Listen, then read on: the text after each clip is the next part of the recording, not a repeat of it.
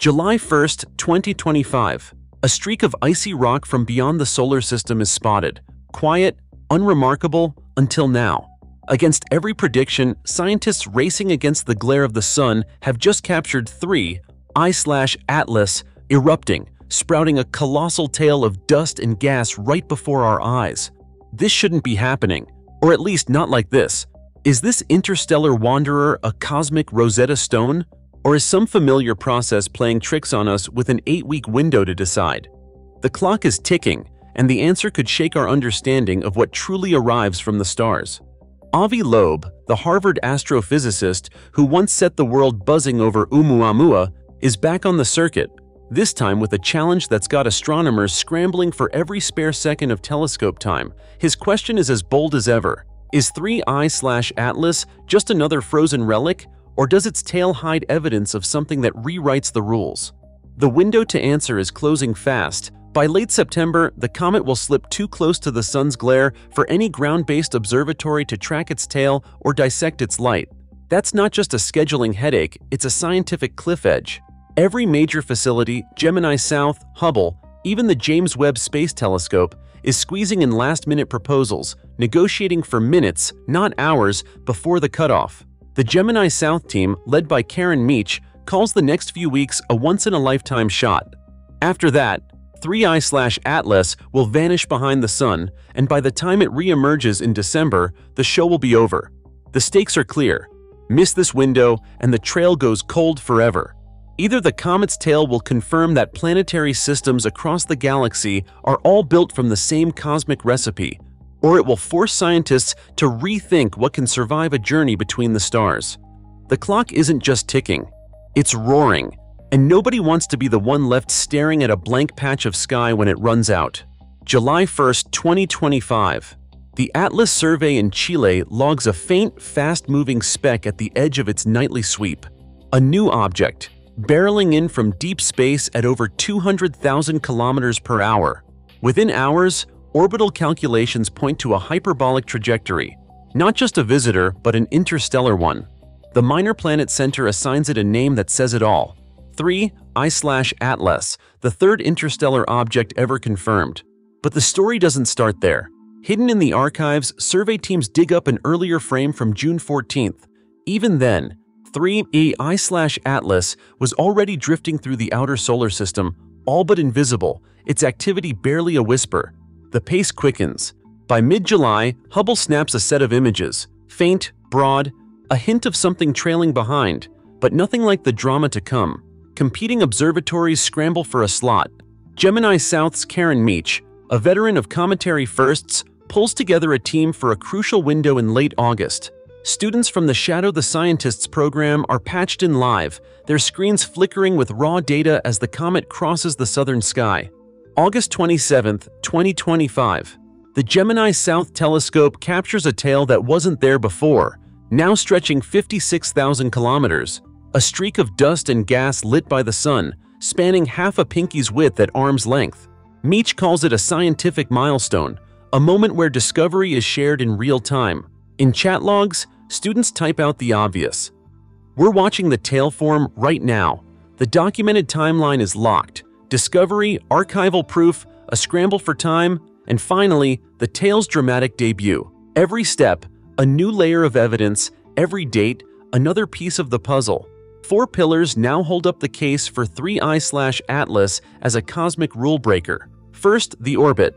3I-Atlas isn't just passing through, it's on a hyperbolic path, inbound from interstellar space, moving too fast for the sun to ever pull it back.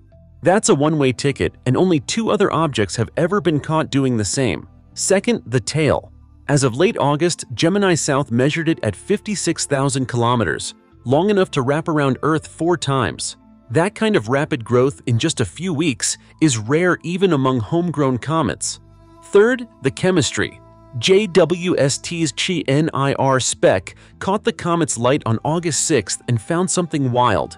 The gas pouring off 3 I-Atlas is dominated by carbon dioxide, not water.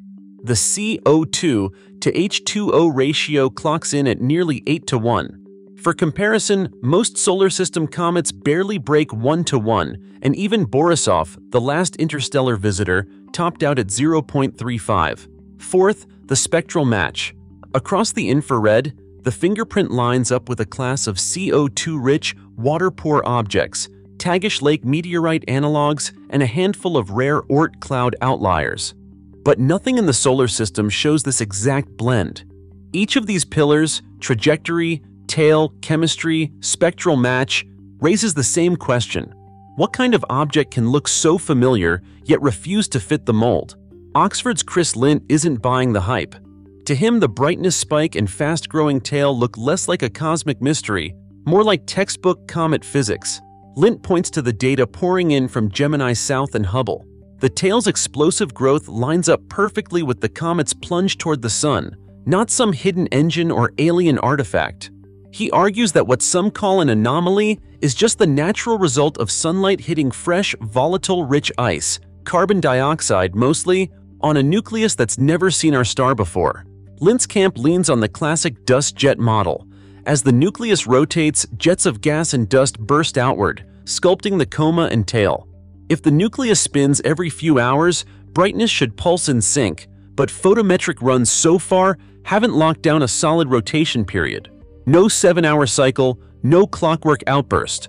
Then there's the chemistry. While 2I Borisov showed strong cyanogen and carbon 2 bands, classic comet fingerprints, early spectra from 3. I Atlas are almost silent in those lines. Lint calls this a sign of ordinary ice, not something exotic. But even he admits, the numbers are thin and the window to gather more is closing. As the debate sharpens, the only certainty is that 3i Atlas refuses to play by any single rulebook. Three interstellar visitors, three different stories. Oumuamua, back in 2017, slipped through the solar system without so much as a wisp of gas or dust. A cosmic ghost, no tail, no coma, just questions. Two years later, Borisov rewrote the playbook. It arrived with a classic cometary display, a bright coma, a dust tail, cyanogen, and C, two bands lighting up its spectrum, textbook chemistry, textbook behavior. Now 3i-Atlas walks a line between the two. For weeks after discovery, it barely stirred. Then, as August closed, its tail erupted, stretching 56,000 kilometers in a matter of days. The chemistry, too, is off-script. CO2 dominates, water barely registers, and familiar comet fingerprints are missing or faint. Each object has forced astronomers to rethink what an interstellar comet should look like. The pattern is clear. No two visitors play by the same rules, and the next few weeks may be the last chance to catch this one in the act. JWST's Shot at 3, I slash A TLAS lands in mid-October, one narrow slot just before the comet vanishes into solar conjunction. If the weather holds, if the spacecraft's schedule doesn't slip, this will be the only time humanity gets to probe the chemistry of a fresh interstellar tail at its brightest.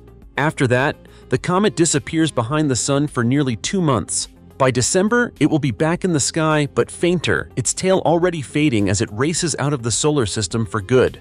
No do-overs, no second chances. So here's the question. Is 3i slash A TLAS just another chunk of cosmic ice? Or is it carrying a message from somewhere far beyond? Pause and cast your vote. Type ordinary if you think it's just a comet, messenger if you think there's something more. Your call, your theory. The universe doesn't wait.